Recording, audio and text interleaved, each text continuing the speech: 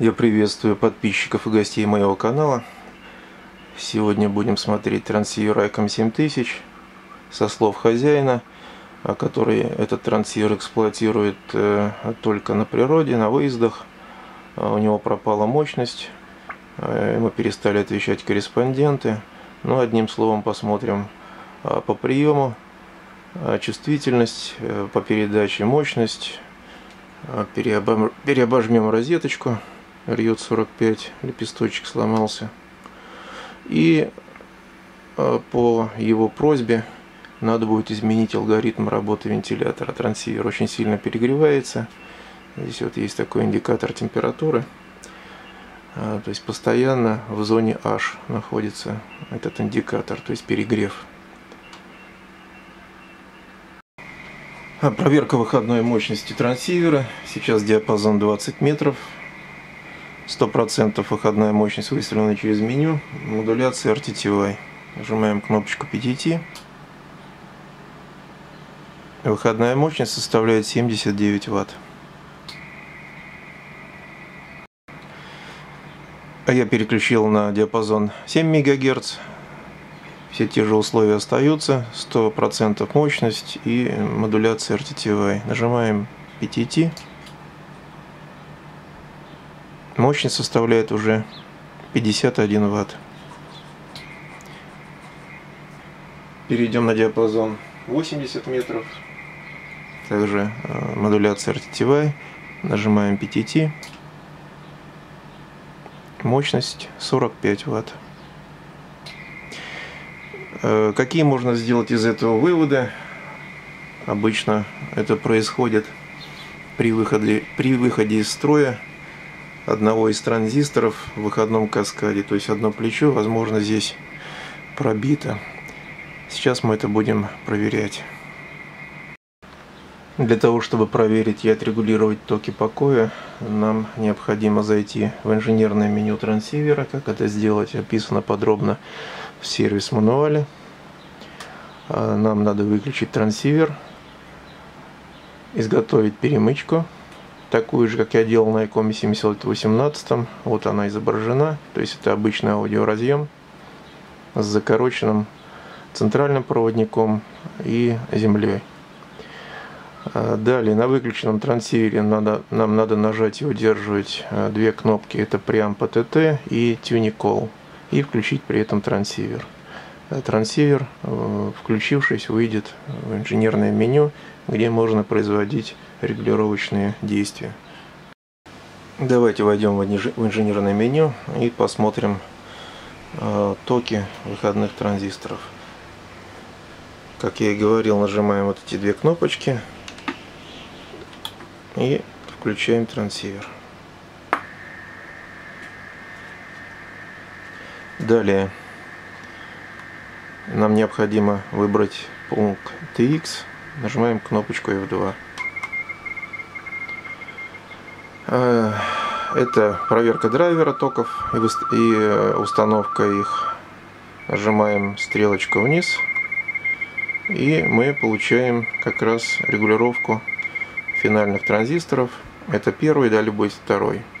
Я еще хочу рассказать, как косвенно можно определить состояние выходных транзисторов. Давайте убавлю немножечко. То есть э, можно определить по току а, при нажатии на кнопочку PTT на тангенте в режиме э, CW можно косвенно определить, в каком состоянии находятся выходные транзисторы. Э, в этих трансиверах, которые имеют полевые драйвера и оконечники, ток покоя должен составлять ну, в пределах 4,5-5 ампер при нажатии и отсутствии сигнала. А здесь же сейчас э, я нажимал, пробовал, то есть в районе 3 с, небольших, 3 э, с небольшим ампер ток. Это уже стоит задуматься о целостности одного из транзисторов. Но сейчас я в этом э, убеждусь, чтобы не открывать трансивер. Проверим ток первого и второго транзистора. Итак, что для этого надо сделать? Нам надо нажать кнопочку PTT нажали кнопку PTT.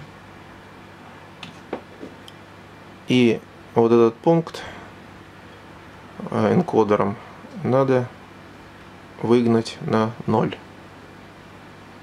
Смотрим на амперметр.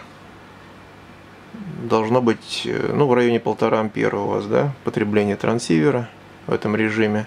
И к этим 1,5 ампера добавляем 1 ампер э, ток на один транзистор. Вращаем. Я не могу вам сейчас амперметр показать одновременно, но я за ним слежу. Вращаю и добиваюсь плюсом к показаниям 1 ампер. То есть вот у меня побежало значение.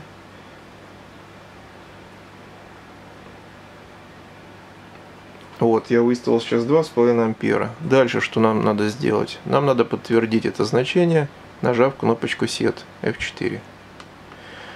Меню автоматически перескочило на регулировку второго транзистора. Также здесь это значение выгоняем на 0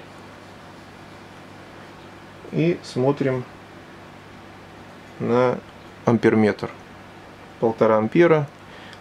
Вращаем по часовой стрелке энкодер и смотрим, что происходит. А вот как раз ничего и не происходит. То есть я дошел до FF, это максимальное значение, а ток с полтора ампера у меня так и не изменился. Это говорит о том, что транзистор неисправен и подлежит замене. То есть я сейчас опять нажимаю сет, трансивер перешел на прием и предлагает мне сейчас выставить э, ток покоя на выходном каскаде ОКВ. Но мне пока это не надо. Итак, сейчас скрываем транзистор, трансивер, ищем неисправный транзистор и э, производим его замену. Для доступа к выходному каскаду нам необходимо снять нижнюю крышку трансивера. Вот так выглядит выходной каскад интересующие нас транзисторы, вот эти два. Сейчас я произведу проверку и посмотрим, какой из них вышел из строя, произведем его замену. Прозвонку транзисторов я вам покажу на камеру.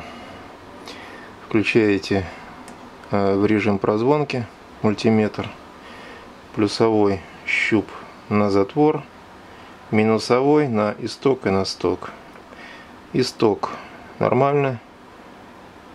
Сток нормально. Следующий транзистор на затвор плюс и сток.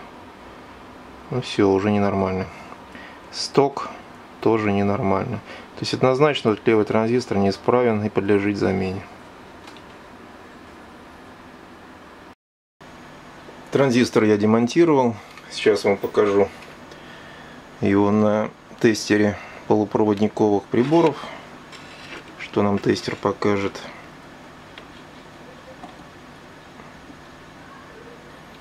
Он показывает двойной диод, то есть транзистор неисправен.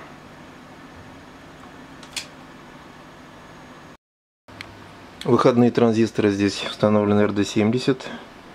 Будем менять на такой же точный.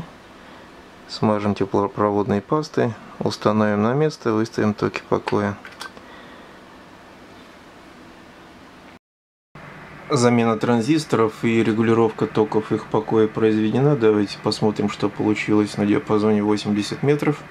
Вы помните, там было на максимальной мощности чуть больше 40 ватт. Диапазон 80 метров. Режим RTTY. Нажимаем кнопочку 5. 103 ватта, 102 ватта. Отличный результат. Ну что ж, с выходным каскадом мы разобрались. Дошла очередь до вентилятора. А, ничего выдумывать не будем, велосипед изобретать не будем. Все придумано до нас.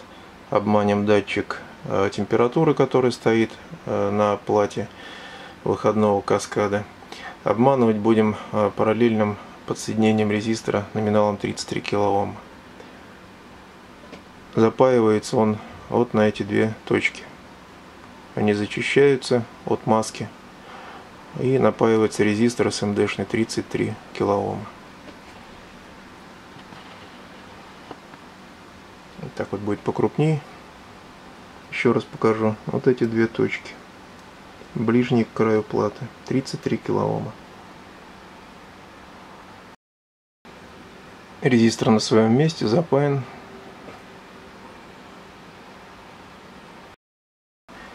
Второй момент. Если вы хотите, чтобы терморезистор более остро реагировал на измерение, на изменение окружающей температуры, э, то сам терморезистор, который установлен на этой же плате по юнит, можно э, связать тепловым контактом э, с шасси трансивера, и он более будет остро реагировать на измерение, на изменение температуры, будет управлять скоростью вращения вентилятора, и теплообмен будет более оптимален.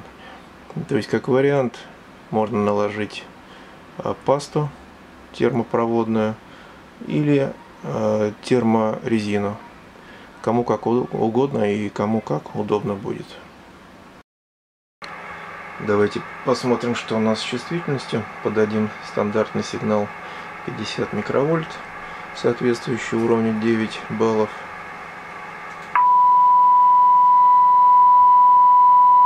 Все соответствует, все прекрасно.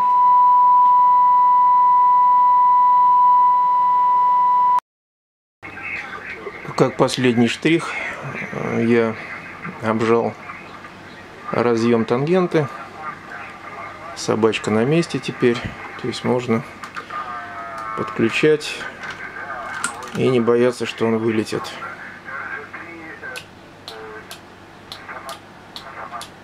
Все прекрасно работает. Давайте подведем итоги ремонта. В трансивере был заменен выходной транзистор RD70 и был изменен алгоритм работы вентилятора. Сейчас вентилятор прекрасно справляется своими обязанностями. Он практически постоянно работает на малых оборотах, производя обдув шасси. До этого трансивер ощутимо грелся, но и рука очень даже так это не терпела. А единственный момент э, у этой доработки это показание температуры она несколько будет визуально завышена. На самом деле это сделано для того, чтобы обмануть э, вентилятор, чтобы он раньше включался и обдувал шасси. Но это не так критично, я думаю. Э, аппарат будет находиться в нормальных температурных режимах. Э, всем пока. Спасибо, что смотрите мой канал. До встречи. С вами был Роман 4 Иван Николай.